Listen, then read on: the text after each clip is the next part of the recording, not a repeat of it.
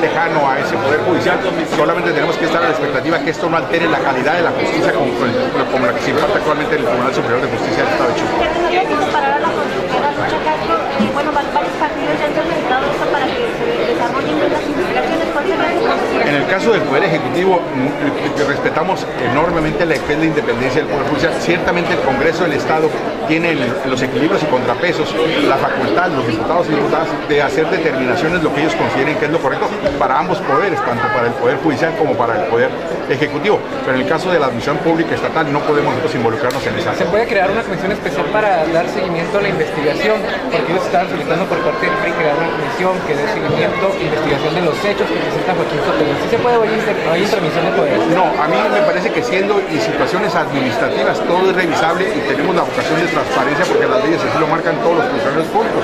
Pero ciertamente en lo que tiene que ver la independencia de jurisdicción a la hora de decir el derecho sin cuidar que esto no se ve vulnerada, eso es lo único aspecto que siempre se tiene que cuidar porque ya la Corte se ha pronunciado al respecto cuando hay alguna intromisión en otros en el Poder Judicial. ¿Esto desestabiliza el Poder Judicial? Todo lo que no lo creo, no lo creo. A mí me parece que es un diferendo que se debe procesar adecuadamente y en su oportunidad resolverse por el propio Poder Judicial. Es grave que no existan evidencias de los exámenes de los siete magistrados elegidos, siendo que pues, es más del auditable, es la prueba de que el proceso fue limpio, claro.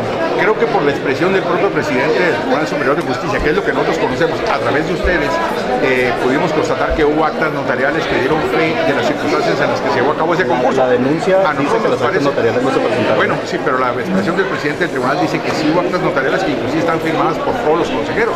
Eso habla de que hubo un conocimiento. Sin embargo, nosotros, como les digo, tenemos la información que ustedes han transmitido y por lo cual mucho valoramos, pero eh, sí debemos estar a la expectativa de lo que el propio Poder Judicial resuelva.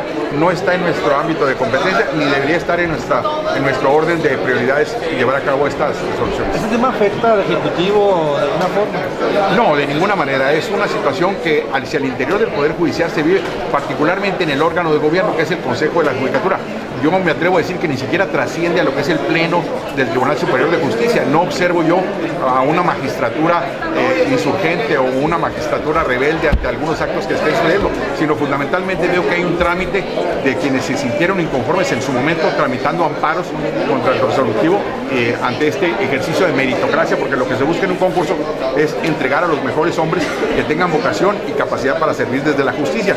Pero ese diferendo se tiene que procesar entre el propio órgano de gobierno, que es el Consejo de la Judicatura. Entonces, ¿por qué invitarlos a Palacio? No, no fueron invitados a Palacio.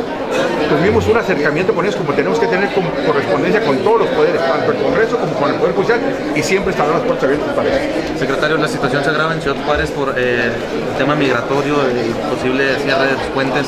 ¿Han tenido ya ustedes contacto con el gobierno federal?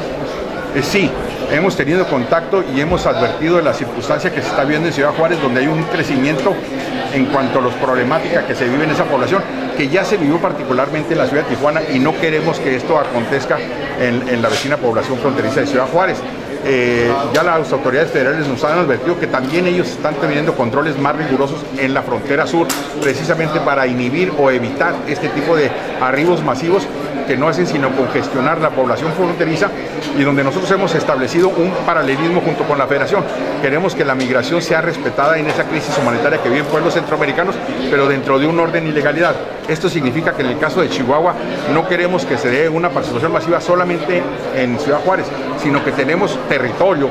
Si alguien desea sentarse aquí en este estado, pues hay poblaciones emergentes, intermedias, que con gusto acogerían a todo aquel que desee trabajar y buscar mejores condiciones de vida, pero no así llegando de manera masiva a Ciudad Juárez, que es ahí donde se puede colapsar los servicios. Económicamente ya se está, ya, ya existen repercusiones. Hay repercusiones sobre todo porque el vecino país tomó decisiones de aletargamiento en los procesamientos de los visados y esto trae como consecuencias que se den procesos más largos y la población migratoria permanezca más tiempo en Ciudad Juárez.